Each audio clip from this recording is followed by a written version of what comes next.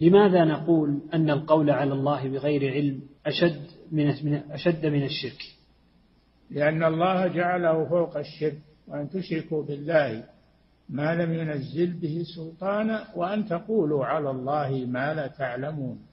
فجعله فوق الشرك. نعم.